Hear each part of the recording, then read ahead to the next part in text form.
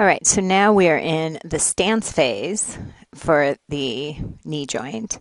So you can see toe off, and then the foot is not in, in, in contact with the ground, this right limb. So that is considered, that's the definition of the swing phase.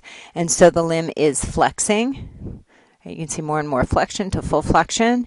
It's going at a pretty fast pace. That's why he gets a lot of um, knee flexion. Um, so you're basically lifting.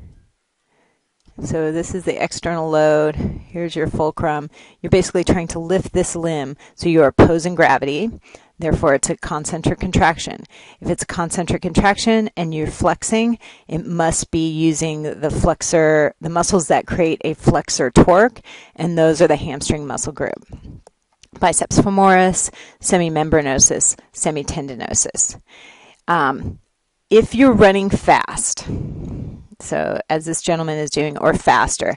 A lot of times, this hip or this knee flexion comes from momentum from hip flexion, and we'll talk about that a little bit later. So sometimes, when you compare um, EMG tracings, there will be no active contraction of your hamstring muscles because this flexion is coming from the hip being flexed during the same same phase. All right, so let's look at the the knee joint. So we have the kinematics on top, EMG um, of the hamstrings, which is the solid line, and your vastus lateralis, so your knee flexors and your knee extensors. And so, as you start to flex after foot contact, you go flexion.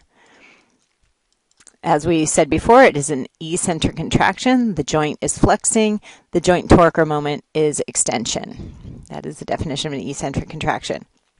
And we can see that our um, quadricep muscle group is active during this first 10%. All right, as we extend the knee, so the knee joint goes through extension, um, you're opposing gravity, it's a concentric contraction, and so the joint torque or moment must be extension. And again, you still see those quads active up to about 35%. So quads eccentrically, concentrically, eccentric, concentric. And then we have this big knee flexion um, during um, the swing phase.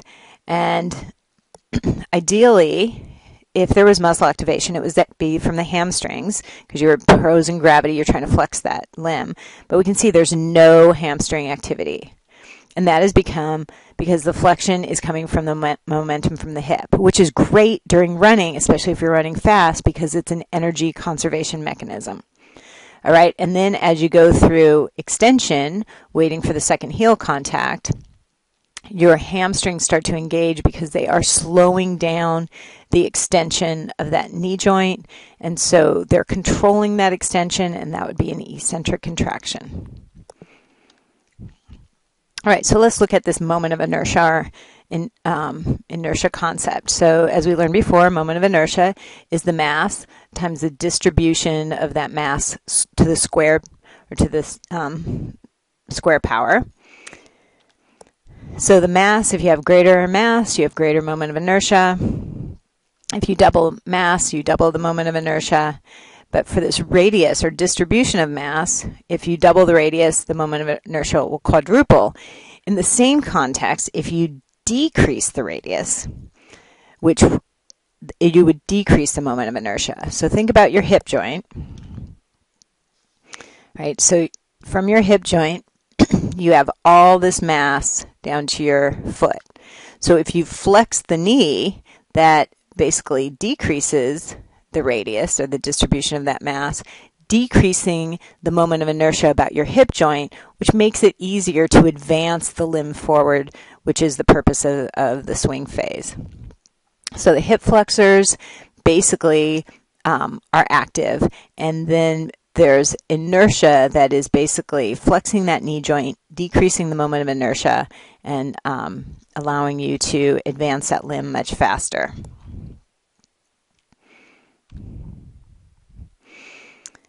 All right, so let's look at the ankle joint.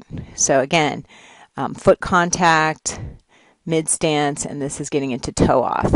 And so you're dorsiflexed and then moving into greater plantar flexion. So mid stance to toe off, you're basically trying to, again, lift this body into the air.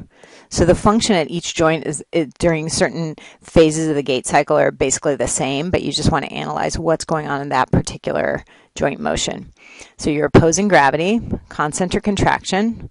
So if you are opposing gravity, concentric contraction, it is the gastroc soleus, which is um, active. And here are the joints. So here we have um, the gastroc soleus is in the the solid line. Um, t- tib anterior is in the boxes.